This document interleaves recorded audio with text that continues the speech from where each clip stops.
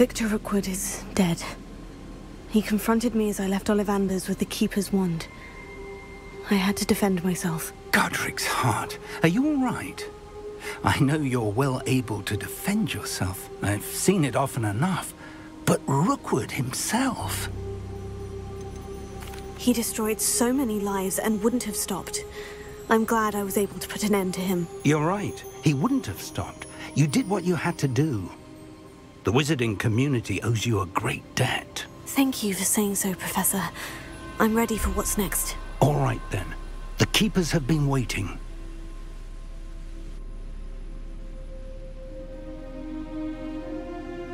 You have completed all of our trials, and you have done so under circumstances even I did not foresee.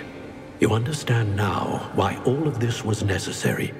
The portkey, the vault, the locket, the book, the trials. To ensure that one with the ability you and I share would make the same choice that San, Niamh, Charles, and I did. Now that you have witnessed my memory, you understand all that is at stake. Not everyone is what they seem. As you know, light does not exist without shadow, nor shadow without light.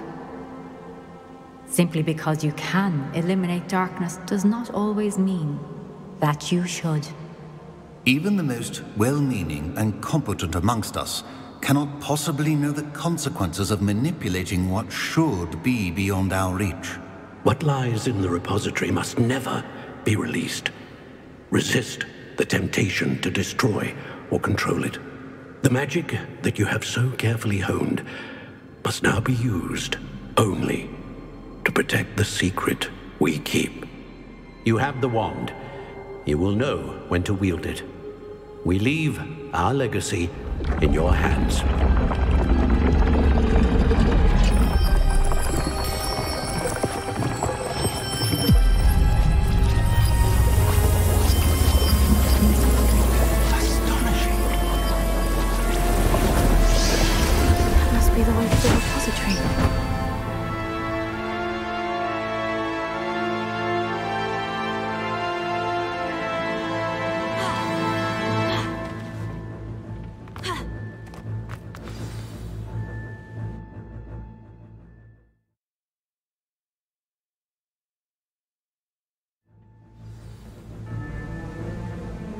Hope that the enchantments protecting the castle will protect against an incursion from below. I fear they may not. Although, if they don't now, I can assure you they will in the future. Were you able to reach Professor Weasley?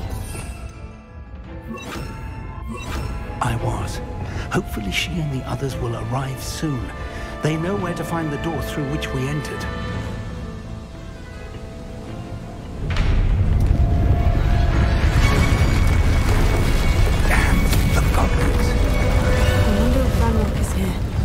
Go.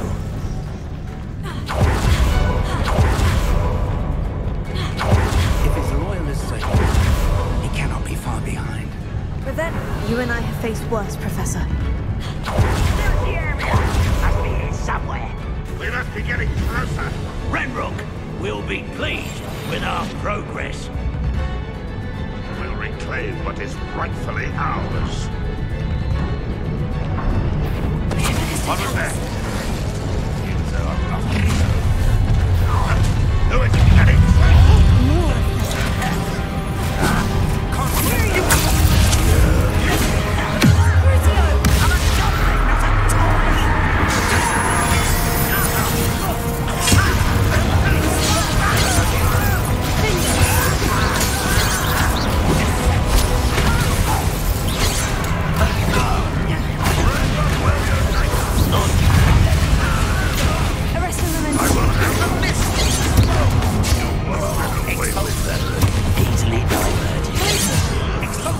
I've been fighting since. You don't believe him. I just one minute. Button up. Come on.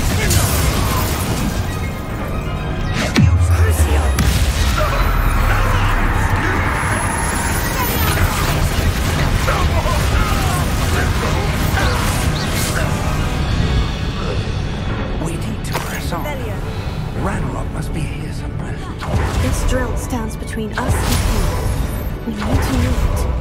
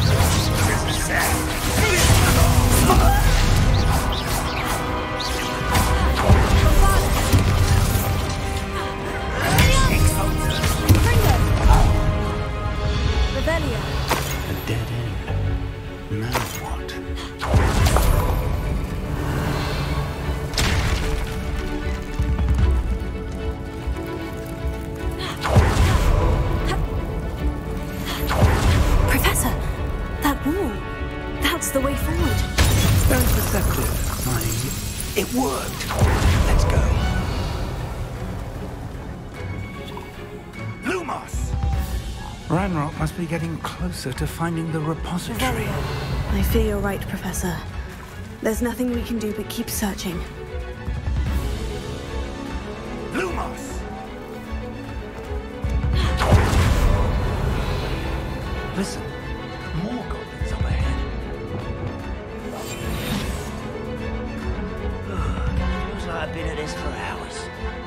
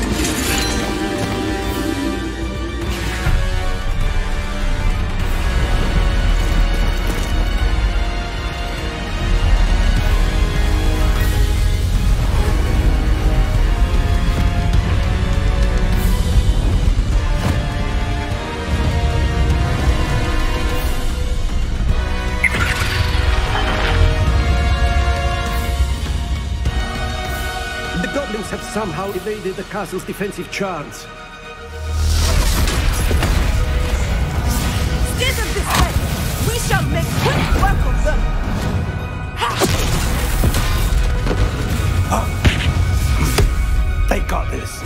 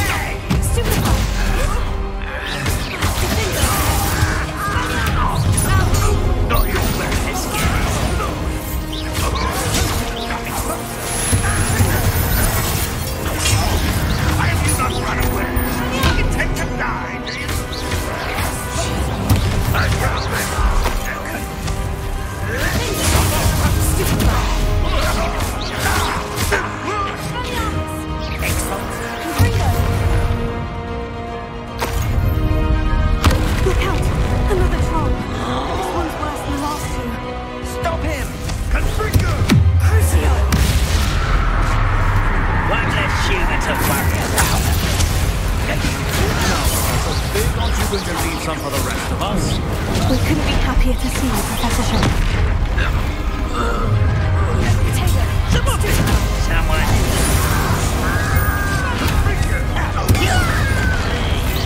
You can't stop us.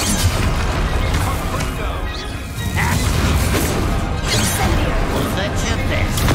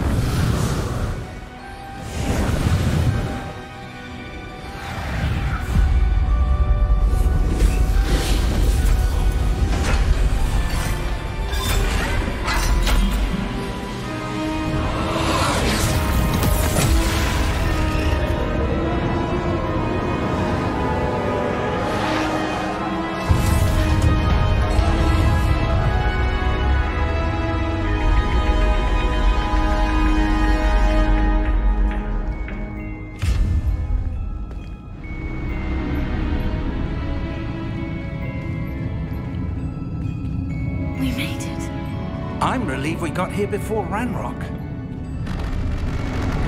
I can't believe this is it. The repository has been under the castle for hundreds of years. Think of all the pain that created it. This is what Miriam, George, your friend Lodgok, and countless others died for. Miriam believed this forgotten magic could be used for such good, but she did not know the risks. She did not see what the Keepers have shown you, what Isidora showed you. You are now the Keeper of whatever power it holds. What do you intend to do with it? I've decided to open the repository. Its power cannot lie dormant for centuries more. After everything you've seen? What about Isidora's fate?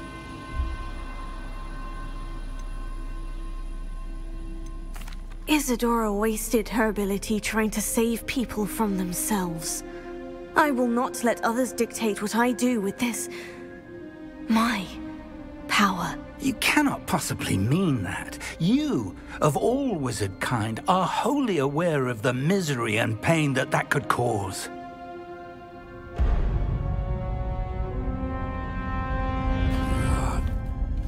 The arrogance of wizard kind. Goblins built this repository. It belongs to us. Enough, Ranrock. It was never yours. I've been wanting to play with this. Miriam's wand. If she'd simply handed over the container, all of this could have been avoided. Foolish, self-important witch. Seems you were two of a kind. She didn't know when to give up either.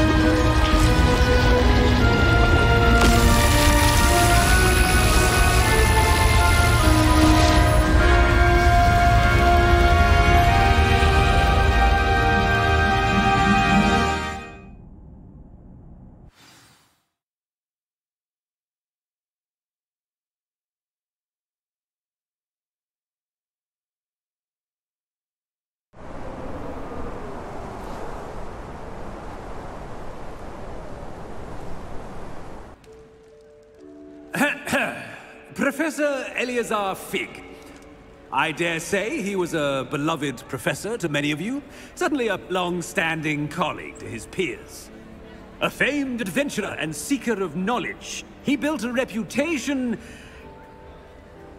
charging into the unknown, brazenly disregarding both discretion and safety, providing perhaps a rather unfortunate lesson for us all. His devotion to adventure was rivaled only by his dedication to Hogwarts. And of course, to his wife, Mary... Uh, Miriam, whom we lost much too soon as well. um, uh, yeah.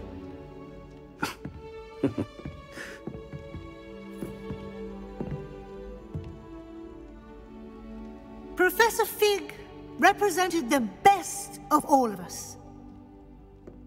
Oh, he could be deviously clever, possessed a brilliantly inquisitive mind, and was the most loyal of friends. But perhaps it was his remarkable courage, for which we will all be forever indebted to him. If not for Professor Fig.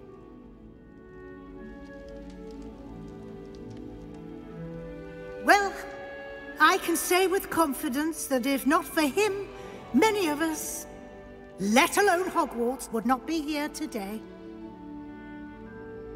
Those that knew him best will agree that we must now honor him as only Hogwarts can, by wisely, resourcefully, justly and bravely facing all that lies ahead. to Professor Fig!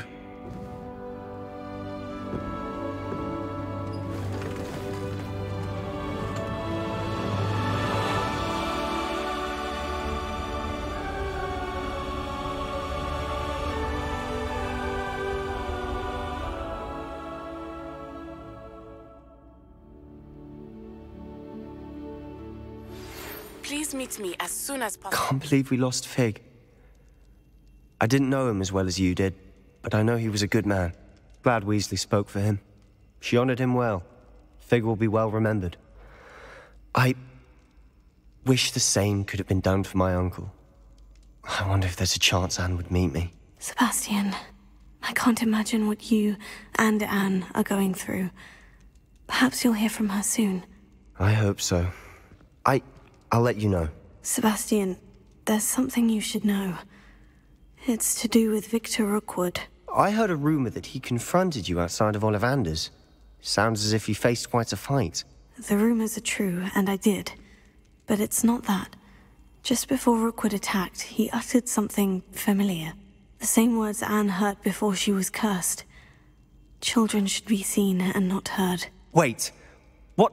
what are you saying? It wasn't one of Ranrock's loyalists who cursed Anne. It was Rookwood. It was Rookwood all along. This... this can't be. It was the loyalists. It's always been them. The night Anne was cursed, all she saw were goblins. Once Rookwood allied with Ranrock, Isidora's estate became of interest to them both. That's why Rookwood was there the night Anne was cursed. He was working with Ranrock. When he saw your sister, well, he didn't want anyone to know. So he cursed her. And she's never been the same. So cruel. Rookwood deserved what he got. Thank you for telling me. It wasn't a goblin. I suppose I owe you an apology. All this time I thought goblins were the enemy. But it was never that simple. Ominis said he's spoken with Anne. I wonder if she'll see me. I'll find out and send word when I know more.